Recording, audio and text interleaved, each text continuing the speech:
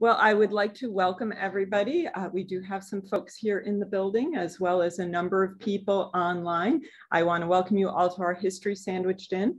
My name is Anne Dealy and I am the Director of Education here. And today I'm also our presenter. So I'm going to keep our ads short uh, because I was focused on the presentation, but we have a lot going on this fall through December. Um, we have our candlelight tour of Rose Hill this coming Saturday evening. If you're interested in that or any other program, do take a look at our calendar of events at historicgeneva.org. We have a program next week on uh, wireless innovation, and that'll be next Wednesday evening, both virtual and live. And then we have a virtual only program on the 18th of November about the Wharton Brothers Studio, which was a silent movie studio in Ithaca, New York. So I welcome you to check out our calendar and look at doing some of those programs with us. But for today, this is our sort of informal history program and the staff here do most of them. And today I'm gonna talk about the family that lived in the building that I'm currently in, the Prouty Chew House on South Main Street in Geneva. And I'm gonna just uh, start with our PowerPoint. We do have a little bit of a strange setup with PowerPoint today. For those of you on Zoom, you might see some icons that aren't normally there. That's due to technical difficulties, but hopefully you can all hear and see uh, what I'm showing. So I have here on our title screen a picture of the building that those of you who have been here before know as the Prouty Chew House, the Prouty Chew Museum, the Geneva Historical Society. We are now called Historic Geneva and we operate out of this building. But for many years, it was the home of the Prouty family. And we know a lot from the building itself, but also but we are fortunate enough to have a lot of archival material. This is why archives are so important. So consider carefully before you throw things out, whether or not it's something that would be useful at an archive. We are fortunate to have not only the uh, building, but diaries from certain years that the Prouty family lived here of two members, as well as a photograph album. And that has given us some great visual material. Otherwise, this would be really hard to watch on Zoom. So these are just a couple samples. I have here a 1859 diary page that Phineas Prouty Jr. wrote.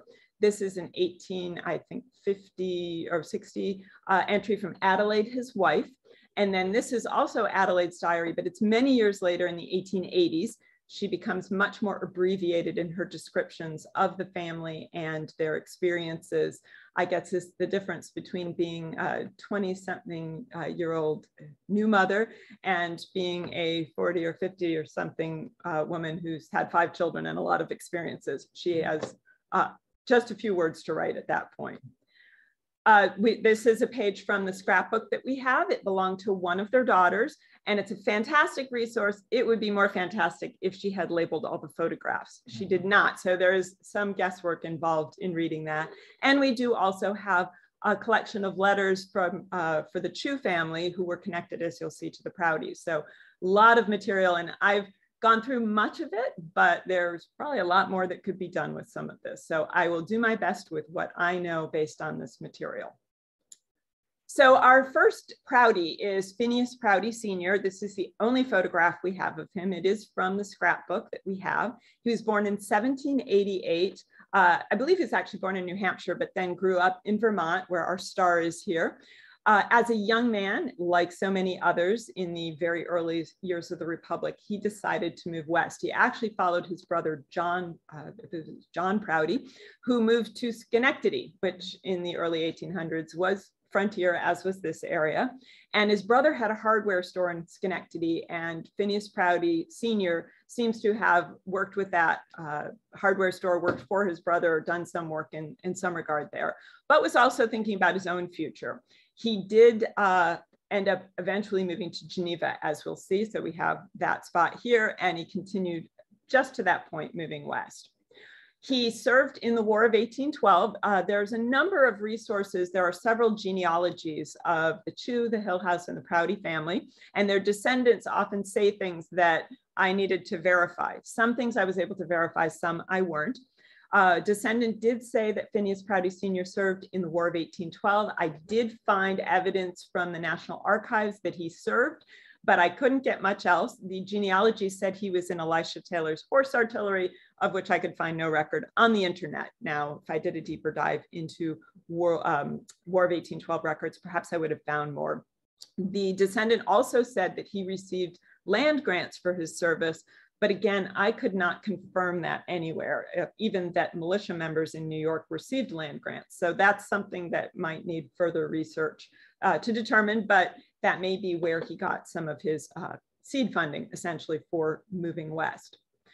When he moved to Geneva, um, after sometime after his service, he decided to come from Schenectady and according to his descendant, who was very enamored of her ancestors, he had seen the possibilities of Western New York as a place for distributing goods and getting them back to market. Um, I don't know if he had all of that in mind, but that is what his uh, descendant, I believe it's Margaret Hillhouse, said about him. But he first started here in Geneva with a copper, tin, and sheet factory uh, where he was producing metal goods, which were certainly in high demand in 1815 when it's advertised here in the newspaper. And uh, because farming, they would have needed plows and buckets and tools of all sorts. So it was a good idea. And of course, he had his brother as a source for goods and contacts within that uh, area. He had to, again, according to Margaret Hillhouse, have to carry everything overland. So he would have had to portage it quite a bit because this is 1815 before the canal was built. And so uh, he was successful in bringing things here. He eventually decided to do more importing, not so much just a factory, but added a lot more already manufactured goods to his stock and started advertising himself as having a hardware store. It was on Seneca Street and it's the build, it was in the spot that is today the building, uh, sometimes called the Prouty Building, because that's how it was constructed as we'll get to at the end. Um, but it is now used for Hobart and William Smith offices in downtown Geneva. And you can see this is a, a section from deeds. We're fortunate that most of the counties hereabouts are recorded in familysearch.org. So I was able to pin down a lot of the deeds without having to run around to courthouses that I did not really have time for. This shows just a section of the deed recordings under Phineas Prouty's name. All of these yellow lines are parcels of land that he purchased. And we can see right here in 1819 is the first one recorded for Ontario County. And that is a, um, he actually got it for a dollar, which I'm quite curious if uh, at some point I can talk to someone who knows more about deeds and land transactions. It was a sheriff's auction. Did no one else want the property? I'm curious as to how he managed to get it for just a dollar because it was a piece of property on Seneca Street which was not the hub of business in uh, 1819 that it became once the canal opened, because a lot of the commercial area, as those in Geneva will know, was still around the Pulteney Park area. And he decided to connect a little closer to the lake, perhaps because he's carrying in all that heavy iron and copper equipment. Um, he did a lot of other transactions. So this building here, this is a picture of the hardware building on Seneca Street. This picture is long after the time that he had his hardware store there. In fact, it's probably from after his death, but it's the same building and it does give you an idea of, it stayed a hardware store for many years. It was at, um, today I think it's 20 Seneca Street. I have 24 down here. It, it covered several addresses, so the address changes over time. I think he originally had 10 to 12 Seneca Street. And it was the first of many, many land purchases. This is a small segment of what was listed for him in Ontario County. His name is listed for Seneca and Yates. Um, I didn't go through all of them to see which were him and which were his son, but uh, suffice it to say, he had a lot of property, not only in this state, but other states as well. So he started out with, with a great deal of property to make himself successful he, of course, the next thing he had to do after he bought his property was get married. And he had met a woman, uh, presumably while he lived in Schenectady, Margaret Matilda Van Franken, and they were married September 19th of 1819. They had ultimately four children, Nicholas, Harriet, Sarah Augusta, who was called Gussie, and Phineas Jr. And they were born about two years apart. Nicholas sadly died uh, prior to the birth of any of his siblings of apparently dysentery. And uh, they had the three other children. Mrs. Prouty was descended from Dutch settlers in uh, the Hudson Valley. And again, according to Margaret Hillhouse, she brought a number of Dutch traditions into the family, including cookies, which were not commonly made in the early 1800s in baking traditions in um, New England uh, families, which is where the Prouty, Mr. Prouty came from. So she brought the cookie tradition to the family. Now, uh, this is a map that shows that Seneca Street property here. Uh, this is from much later in the 1800s. Um, I think it's the 1867 or maybe the 1884 uh, map that shows buildings downtown. And you can see the hardware store here and property behind it. Again, all of these land transactions involve pieces of this property. And he started with this central spot here, but he was able to take ownership of a lot of the land around it. And in fact, the building, all of this became his property. And he had the hardware store here, but he rented out the other storefronts to other businesses. And you can see a view of it here. This is uh, looking west up towards, this is where the uh, Methodist church is today. The hardware store is over here. And this is looking um, east. And you can see, I believe this is the Linden block here. And the other buildings, most of which are not there anymore, but some of which are. I believe this one still is. So you get a sense of what the community looked like while they were probably mid-century. These, um, I think, don't have an exact date on this photograph, but I'd say 1870s perhaps.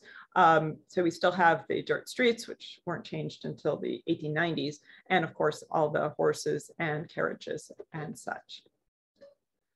So in these early years that they lived in Geneva, they actually lived over the store from everything I've been able to determine. Um, they, I assume these rooms up here somewhere and maybe expanded over when he purchased the additional property. Unfortunately for the family, uh, mom, Margaret, died very suddenly uh, in 1830 with uh, three small children, apparently again of dysentery. So the water around here must not have been too good to drink. Um, according to the newspaper at any rate. Uh, Phineas never remarried. And I have to admit, after reading through some of the genealogy, I wonder if it's not because I found that his mother also died when he was very young and his father remarried and they subsequently had several more children, something like five, six, seven, I can't remember how many. Um, did that make him not want to remarry? That's complete speculation on my part, but it did make me wonder because many men did remarry if they lost their wife at such a young age. However, he did have a handy sister-in-law.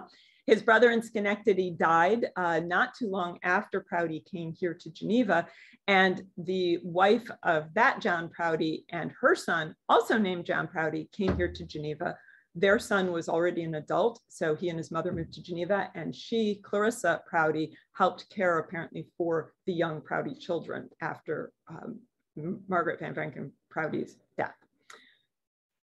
Well, they didn't want to live over the store at Seneca Street with all those horses and manure in the street outside for very long. So they, uh, Phineas Prouty Sr. decided to build a house and he wanted it in the country. Evidently was not bothered with having a bit of a drive into work uh, because he built a house that was called Maple Hill. Uh, later, many of you may know of it as the Lafayette Inn, which it was until it burned down in the 20th century.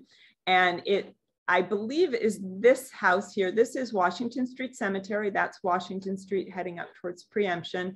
And I think it is this building that shows here. And you can see if you have to take a wagon or a buggy, this is not around the corner from downtown, but it's not unfeasible if you do have access to transportation, such as a horse and buggy, which they would have. So they decided to move out there. He built the house. It was in the Greek Revival style. Um, however, they didn't stay there forever, as we'll see shortly. Both of the daughters, Sarah and Harriet, appear to have been well educated for the period. They actually spent some time at least going to Miss Ricord Seminary, which is a ladies' seminary that was here in Geneva on South Main Street. And this is an engraving of the building. Uh, that's not the only school they went to. Uh, this is again, according to their descendants' uh, genealogy a boarding school in Canandaigua, which might have been the Ontario, Ontario Ladies Seminary, which was around at that time. And then he decided to send them to Albany, where I guess they had to take a canal boat on the last little leg to the academy, again, according to the genealogy. So they did have a ladies' education for the period. And if they went to Miss Ricord School, it was probably a pretty decent education from what we know of her. If you're interested in more about Mrs. Ricord, check out our blog. We have a, a, a couple of articles about her. Well, the country apparently was not the place for young ladies. Um, this is a story that I have heard ever since I came to work here, and I found it in the genealogy, and that was the source of that story. Um, Margaret Hillhouse said her mother and her aunt wanted to be closer to their friends and asked their father if they could move closer to town. And he decided to move from Maple Hill, sold that property, and purchased this house at 543 South Main Street in 1842. It had been built in 1829 by Charles Butler. Uh, it was a very fine house. There were not as many houses along here at the time he bought it. It's a little hard to tell in this picture from 1836. Several of the houses along here are actually on the other side of the street. There's only a couple at this end of South Main Street. And you can see the terraced gardens, uh, of course, the steamboat on the lake. Um, and you can imagine it was quite lovely. You can see the outline of the house was very different at its original construction than by 1873, where it's drawn in this bird's eye view, or how it looks today. And here's a picture I just recently found. I had never seen this before. This is from 1895, so this is just a couple of years after the Prouties moved out of the house but it does show you the back of the house. And again, the terracing down to the railroad tracks that were put in later. There's a boathouse here, and we do know from the diaries that Phineas Prouty built a boat, uh, boathouse. So this may have been the one that he constructed. I don't know. I'd love to know, but I probably won't find out. I'm lucky I got this. I'm thinking this is the outhouse as well, in case you wanted to know. so now here on South Main Street, we have a whole cast of characters, and I don't blame you if you get confused because they all named everybody with the same names, just like the swans at Rose Hill. Uh, of the three children, we have Harriet. And again, I finally found, I had not looked before, but I finally found a picture of Harriet. It's a really terrible Xerox of a photo. Somebody in the family must have sent us the Xerox. We don't have an original. But this is Harriet, the oldest child, oldest daughter, living child, um, and her husband, Thomas Hillhouse. They married in December of 1844, and although Story of Geneva uh, by Emmons says they married at Maple Hill, they did not because he sold Maple Hill and moved here by 1844, so they must have married out of the parlor here. Then Gussie, we have no photos of Gussie as a young woman. Um, in fact, there's a photo of her in the scrapbook that says, this was the only photo of Aunt Gussie she ever had taken. Well, it's not true because I have two here, but they are from the same time period. Here she is quite elderly with her husband, Alex Chew, whose portrait I think hung, I'm not sure, we've changed some around. It may still be in the parlor here at the museum. Uh, here he is young. And here are another uh, photograph of them. He's very stern looking in all of his photographs. It doesn't look like he was a fun time, but uh, perhaps he was not conveyed well in his photographs. I don't know. Uh, so they married second. They were living here at this house briefly because they're recorded in the 1850 census as being residents here. But uh, the one who stayed here the longest was the son Phineas Jr., who got married a number of years after his sister in 1855 to Adelaide Cobley. And here's a photograph of the two of them. They are featured very heavily in our scrapbook because it was their daughter's scrapbook. So it's very uh, hit or miss who's in the scrapbook and what photos we have because it was one daughter's photograph album and it's her friends and her view of her family that we have photo evidence of. Now, the daughters, of course, needed to live somewhere. Thomas Hillhouse was from Albany and he had a farm there, a quite successful farm. So Harriet actually moved off to Albany. Uh, it was Waterville, I believe, uh, where his house and farm were. She moved there with him and uh, they moved back because Phineas Sr. said, well, you know, I'd really like you here. and managed to convince his daughter and her husband that they should sell the farm and move back to Geneva, and he would give them a plot of land to build their house on. And this is unfortunately not a terribly good photograph because we don't have one where you can really see the house. This is the house that Thomas Hillhouse designed and built, according to his daughter in her genealogy, uh, at 755 South Main Street. It is still there. I think it's a dormitory for the colleges now. Um, I believe it was a fraternity house for a while. Uh, even in 1925, when Margaret Hillhouse wrote her genealogy of the family, it had been much altered. So it probably does not much resemble the house that Thomas Hillhouse designed. But they lived there for quite a number of years in that house. Uh, again, this shows the wealth that Phineas Prouty Sr. had. He also bought property down the street at 600 South Main Street, which is today a fraternity house at uh, just down the road from here. And that is where Sarah Gussie uh, and Alexander Lafayette Chew, her husband, lived pretty much for their entire lives from 1849 or 50 until uh, their deaths in the early 20th century. Then Phineas, he stayed here with his father, who was the only other resident of the house, and his wife, Adelaide Cobley, moved in here. We have perhaps the most interesting perspective on Adelaide and Phineas's life because they both wrote diaries. Phineas just for a couple of years, a bit in eight, uh, 1858 and then a bit more in 1859. Adelaide seems to have kept a diary possibly from 1855 through the end of her life. Unfortunately, we don't have them all. We have diaries from 1855 to 1862, and then we have some from 1885 to 90, I believe. We know she wrote some in between because her daughter in the scrapbook wrote entries from the 60s and 70s from the diary but we don't know what happened to those diaries. I'd love to see them. We have so much on this family, but of course, as a historian, you're always greedy for more. I'd love them, along with the pages someone cut out of the diaries we do have with all the juicy stuff that they didn't want us to know. So Phineas Jr. Uh, and Adelaide lived here in the house. Uh, Phineas called her Kit. If you want more about their personal life uh, and their trials and tribulations, I recently wrote a blog about them that you might find interesting, that, where I go into greater detail. According to, again, Margaret Hillhouse, the house was outfitted with central heating, which we did know about in the 1850s, and gaslight when it became available. She said Phineas Prouty Sr. was interested in all sorts of innovations and inventions and immediately put those uh, innovations into his house. Um, Phineas Jr. and Alexander Chew then took over the hardware business from Phineas's father. And Phineas Sr. retired from the hardware business, but he had plenty of property and real estate that he kept busy with. So he continued to do some type of business transactions, but he apparently spent a lot of time here at home with Adelaide and the grandchildren, the two that two were uh, two were born before he passed away. So he knew his two oldest grandchildren uh, by his son very well. And of course, the cousins lived down the street, so they would frequently come over as well. Phineas Prouty Jr., as you'll know if you've read my blog, didn't really like the hardware business. Um, he liked drawing, and we have a, a, sample of his work from the scrapbook here, and there were several other drawings as well. It wasn't bad. Um, he liked fishing and did comment about his father not enjoying fishing very much until he finally went and says, maybe he understands now. uh, and then he, he gives a lot of quotes about how much he likes spending time. And he was about 28 when he married uh, Adelaide and she was 19, so they were relatively young.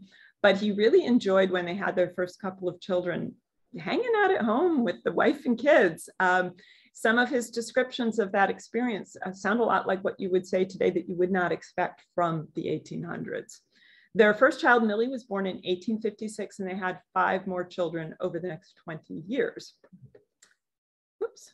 Uh, Phineas Prouty Sr., of course, uh, did not live forever. He fell ill in 1862, which is right at the very end of Adelaide's diary that we have for that year as war broke out. Um, as the war started, she sort of stopped her diary around 1862. And whenever she started again, we don't have the next set.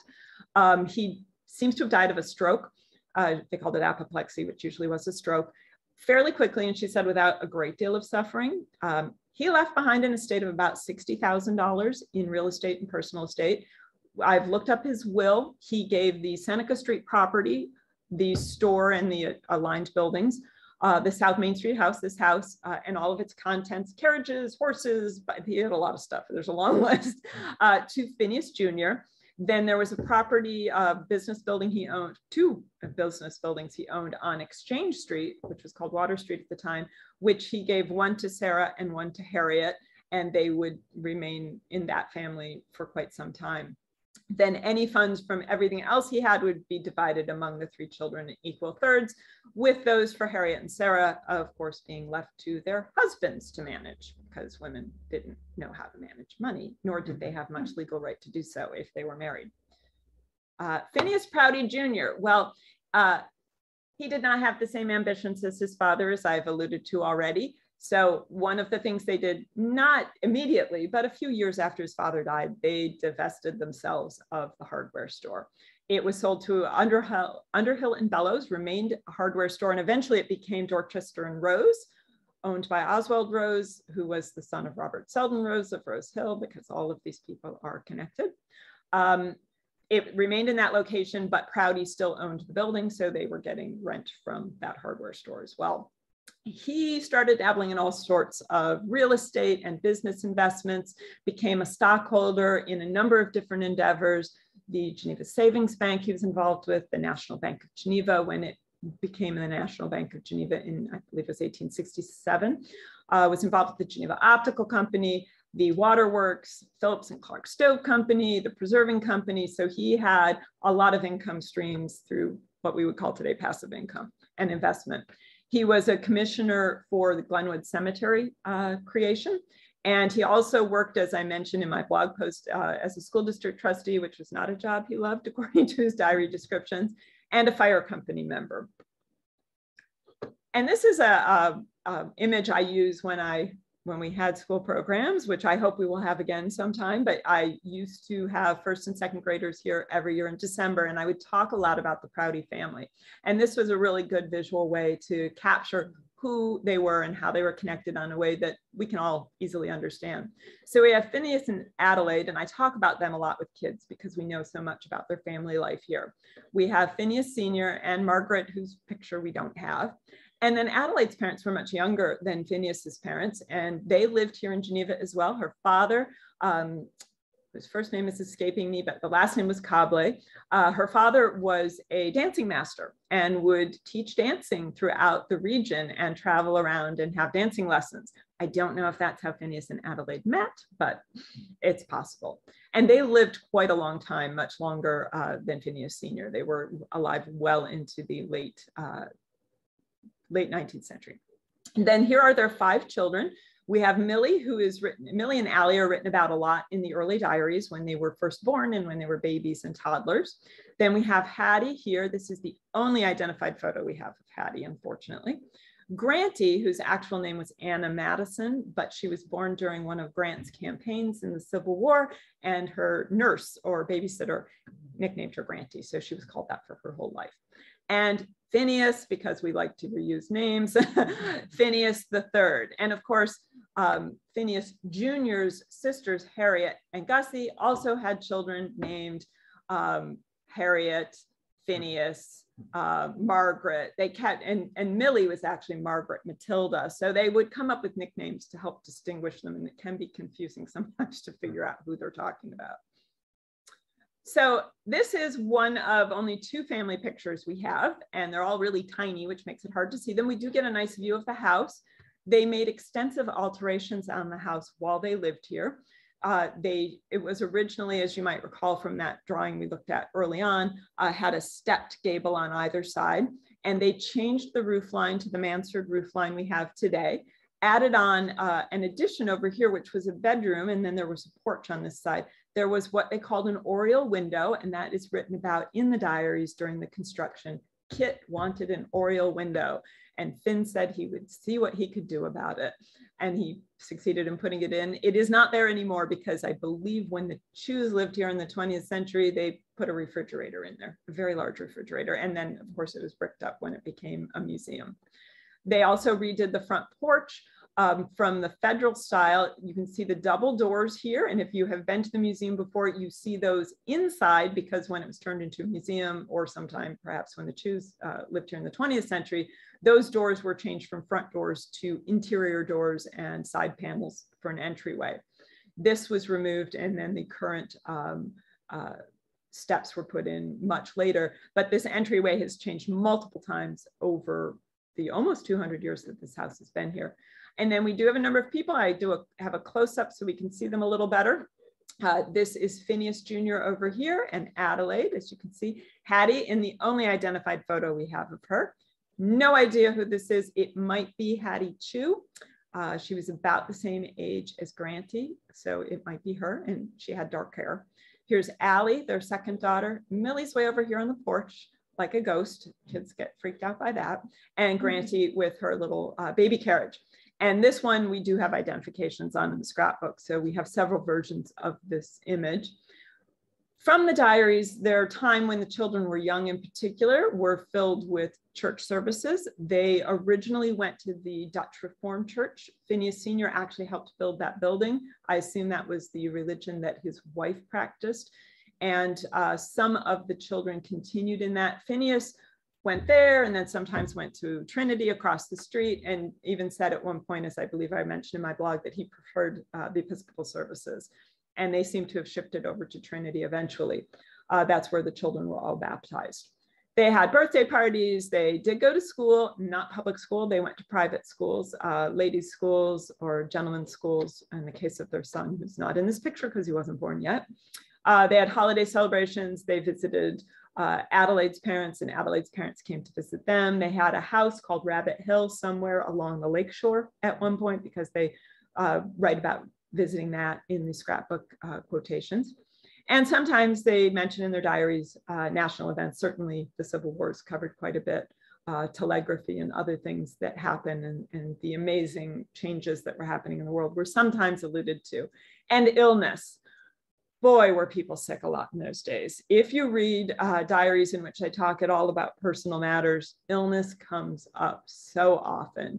Um, it seems like no one was ever healthy all the time in the family, even with minor ailments, boils, and all sorts of horrible things. And this is the second family picture that we have about 10 years, eight or 10 years later. And here we get a little bit better view of the stables, which in that rear view I showed earlier, you could actually just see the stables. They had a stable and carriage barn of some sort behind the house where probably this gallery that we're sitting in now is built. Um, we have also here really tiny people who are a little bit blurry and a lot of unidentified, but I do have a close up where we can see Phineas Jr. and Adelaide again, a little bit older, their daughter's older. I believe this is Hattie. Uh, this is Granty because you can tell from her face. This is Millie and this is Allie. And on her uh, lap is little Phineas III, who would have been about a year, year and a half at this point. And he's moving, so he's all blurry. I do not know who the other ladies are, probably could pin them down from the scrapbook, but I have not done that. So with all of these children, what were they doing? Well, when they were young, they had the birthday parties, the schooling, and the church services. As they got older, based especially on Anna's scrapbook, they were had, they had a very active social life. Um, this was a well-to-do family. They did not have to work. Despite Mrs. Prouty's complaints about housekeeping in her early life as a housekeeper, Phineas's complaints about the hardware store, they did not, the girls did not have to work hard. Uh, certainly they went to school. They had servants, so they were not cooking um, as far as I can tell. They uh, were living a very different life, I suspect, from their mother or grandmother. And this is very similar to the story that we tell about Rose Hill and the change between Margaret Johnston, the immigrant from Scotland who salted down a hundredweight of pork outside her house, and Agnes Hutchins, uh, who traveled to Europe and um, had Worth gowns. So we really do see this transition in wealthy families from sort of the New England uh, gentry, I guess we could say, to a much more ostentatious is probably too strong a word, uh, but a little bit more obvious in terms of their wealth and their display of wealth. We know that the girls uh, spend a lot of time socializing with gentlemen from Hobart. Not surprisingly, they live right down the street. This is Anna or Granty at a Hobart baseball game, and this was in her scrapbook we have, again, a lot of photos of Anna because it was her scrapbook. Anna also liked to play tennis and she actually competed, I guess, in Rochester at least once. Here she is with a friend and some gentleman friends as well with their tennis rackets. This is a time in the 18, she was born in 1864. This is the 1880s, probably 18, late 1870s, early 1880s. Uh, she actually played uh, tennis at Fossenvue Elizabeth Smith Miller's camp on the other side of the lake. And that's where this picture was taken with a lot of her friends. Um, so she enjoyed outdoor life a bit. And this was a time when young ladies were starting to try these things. This is Millie Prouty on what used to be the porch on the back of this building. And she is having tea. Uh, use this when I did the school program taking tea to show what casual wear was like. And here we have Millie in a, she's got her sleeves rolled up. She's not wearing gloves. She does have a hat on because she's outside. Um, this lady is much more dressed up. I believe this is Alice Seward, and there's a blog post about her as well. Um, and a gentleman here having tea. They bring out the carpet, the pillows, the chairs, everything. So not exactly what we would consider casual, but an enjoyment of the lake view in the back of the house. This is a terrific photo. I have no idea what they were doing when they took this. It's obviously behind the row houses somewhere along South Main Street. and uh, complete with outhouses that I'm sure made it a lovely place to sit.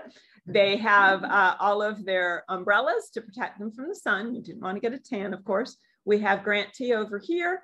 We have Allie with this hat that says hands off on it for some reason.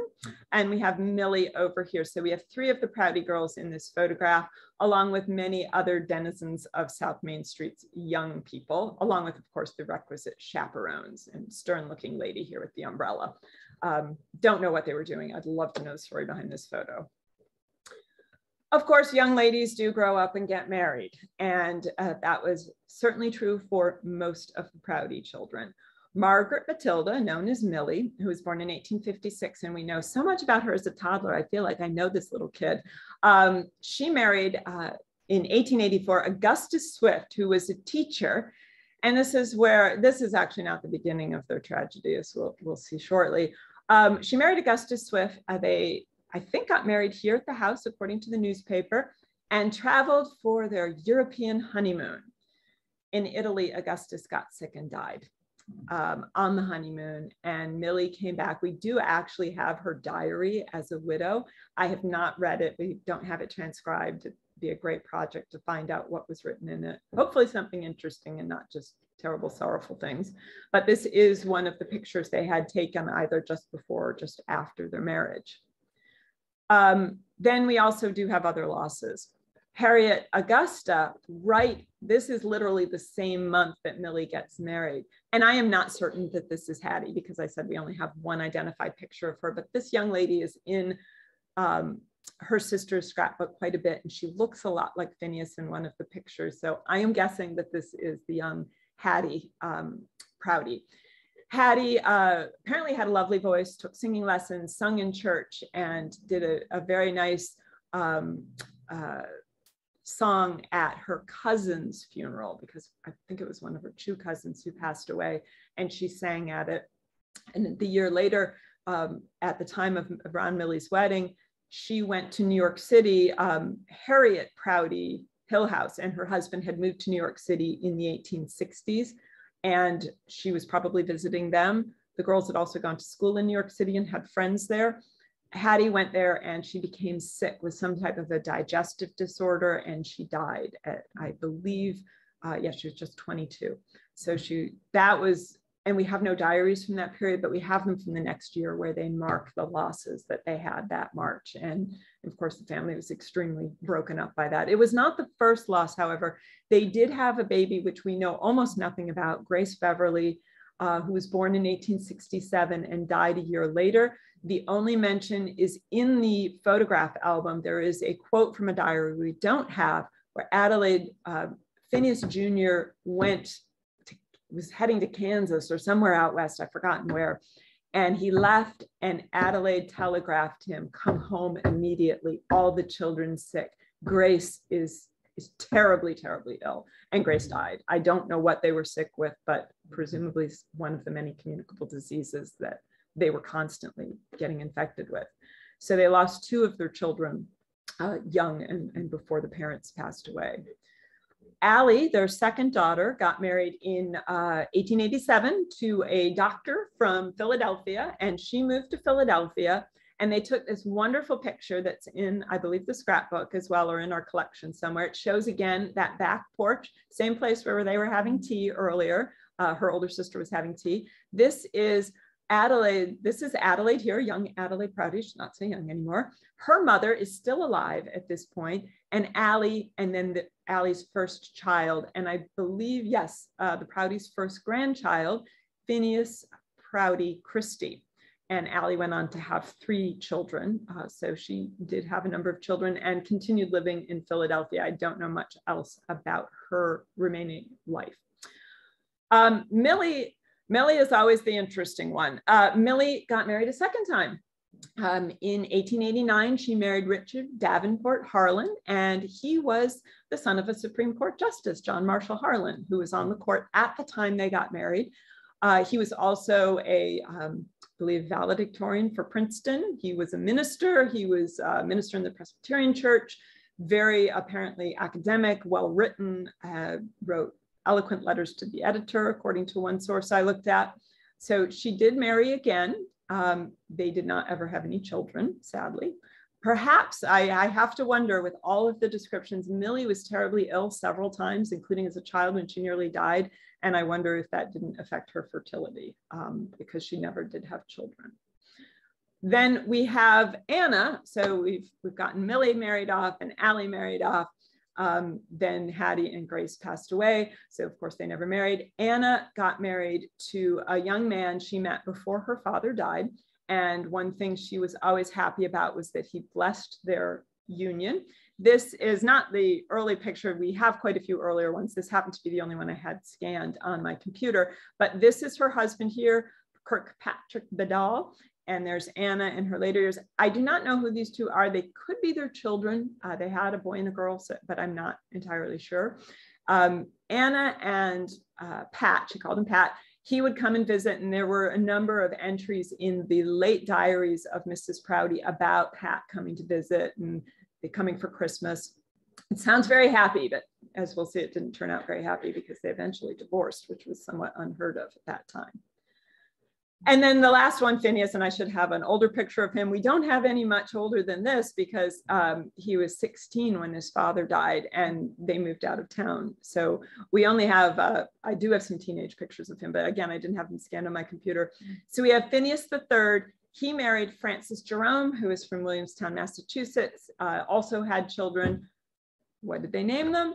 Phineas Prouty. They seem to have had a Phineas Prouty in every single generation. They might be up to five or six now because they are on, I think, Ancestry or one of the other sites with their genealogy. Um, eventually ended up in California, and I'd be curious to know. Yeah, um, I actually found an obituary for someone under other circumstances that was actually related to them. It was very strange. It's like, oh my gosh, it's a Prouty. Um, and then I seem to have passed over Phineas's death. I he died in 1890, um, 1891, a year after Robert Swan. They're very parallel in their lifetime. And uh, he left a half a million dollar estate. His father had 60,000. He parlayed that into a half a million dollars. And he left that money to his children, pretty much in equal parts. Of course, again, except for his son, who was under uh, underage, it was left in trustee under uh, Adelaide's uh, executrix, as ex, ex, she, I believe, is the executrix, as well as Alexander Lafayette Chew, uh, who was also, they were also um, in charge of the trusts for the daughters, because even though they were adults, they were not given any right over their own money. It was all left in trust. And Adelaide lived until about 1906. Adelaide and Granty and Phineas, who was just about 16 when his father died, moved to New York City uh, probably to be closer to their other family members that lived there. And that was when the family left the community and sold the, this house. Um, but it's not the end of the story because one great thing about the internet and the last 20 years of documents getting online is boy, do you find out what happened to people when they left and you didn't have information in your archive. Um, Anna married Kirkpatrick, uh, Millie married Harlan, and uh, Allie married Christie, and they all moved off to different places. Mrs. Prouty did not have a long life, uh, sadly. Mr. Prouty died in his mid 60s. Mrs. Prouty was younger than him and did not live a whole lot longer. She lived about 10 years past her husband. She died in the early 20th century. Alexander Lafayette Chew died, I believe, 1911. So all of the sort of senior members who were um, in charge of the trust passed away. So the secondary ones were everybody's husband, because of course, as we said, women can't be in charge of their own money.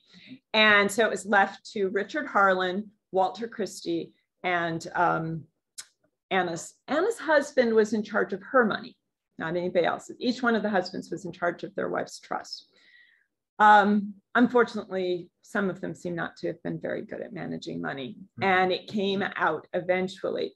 Um, one issue was Millie didn't have any children. If Millie died with no children, her money went to her sisters. And as Millie was 50 without any children, they said, well, you know, what's been going on with your trust? We kind of were wondering what's in it because you're not going to live forever. And um, no one would tell them. And so that's where we have AIR has asked for accounting. Uh, they wanted an account of what was going on with Millie's money. Well, what was going on with Millie's money was her husband, Richard Harlan, who was such a brilliant gentleman in so many ways, apparently was terrible with money and he had squandered it all in bad investments, pretty much depleted her entire estate, uh, which I guess if we divide it by 600, it was over $100,000, whatever it started at. Um, and he said to his brothers, Hey, my sisters in law want to know what happened to the money. And uh, his brothers, also sons of Supreme Court justices, and one the father of the next John Marshall Harlan on the Supreme Court, they said, Well, let's see. Well, I'll give you some money here to make up for that. They came up with a complicated scheme to hide the funding. And I can only follow it very briefly. It's in a story, it's in a biography of Justice Harlan, the second Justice Harlan. And uh, they apparently caused themselves more problems the the good thing was Anna's husband, who kept saying, "Hey, what's going on with the money?" He'd also squandered all of Anna's trust. So they said that broke up their marriage. As you can see, they ended up getting divorced. Uh, it was probably one of many issues uh, Kirkpatrick had squandered the money, and so they said, "Well, you lost your wife's money, so you can't ask about my wife's money." um, so essentially, there were legal actions, which explains why when I first went to find information on the Prouties 15 years ago at Ontario County Records and Archives, there were six boxes of records for Phineas Prouty Jr. And I was like, I don't know what all this is about. Is this court stuff? I've never gone back and looked at it again, but it had to be all the court papers involved in this. Um, because then there was also an issue about the Prouty building, uh, which they had the heirs after Phineas Jr. died decided to knock it down and build the building that is there today. And they took a loss when they did it. And they sold some stock and they took a loss. And there was questions about who had made the decisions and were they the best decisions. So there was quite a bit in the newspaper. Um, with digitization, I found an awful lot about the discord between Anna Granty and her husband. They got, she was suing him. He ran off to Nevada, tried to get a divorce there. It was just, it was all over the social pages. And I guess it just shows you that perhaps more money did not do the family any good, as it does with so many families. Um, money can provide you with some advantages, but it can also lead to a lot of discord. And in fact, in the biography of Justice Harlan, it says that this issue about Margaret Harlan's trust completely destroyed the relationship between the three brothers who were the son of the Supreme Court justice and the father of the other Supreme Court justice. Hmm. It was a, a vicious, vicious family argument that all started with the property money um, and then moved through all sorts of other issues that that family had. So that's what I've got so far. I hope to get a little bit more into some of these issues with the daughters when I write my blog report, uh, blog paper, um, blog paper, blog article on it. So there will be more before the end of the year. I don't know if anyone has any questions either here in the room or if you have questions in the virtual version, uh, you can go ahead and type them into the chat. I will see if I can get it to pop up so I can see them. Um, any questions?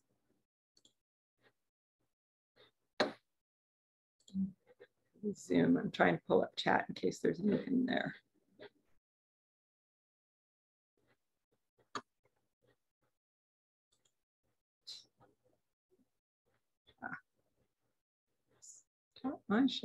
Okay, we don't have any questions from what I have been reported on. So I want to thank everybody for joining us today. And uh, it was very strange to see my face behind there. um, I want to thank you all to, for joining us today. I hope you enjoyed the story of the Prouties. And this is just sort of a window into the kinds of work that we do here at the museum. Oh, I do have a chat question. Hold on. Oh, it's a, a, compliment. Thank you very much. um, uh, I want to welcome everybody to come here, see the house, uh, imagine what it was like when they lived here and moving through these rooms. And um, at some point, maybe we'll, we'll, get more of the transcriptions online, but if you're interested in more, feel free to read the blog posts. And I do have one more I'm going to write, so hopefully I'll continue the story later. Thank you all for attending virtually and in person. Mm-hmm. And you can always email me here at the museum if you think of something you want to know later. Thanks so much. Bye.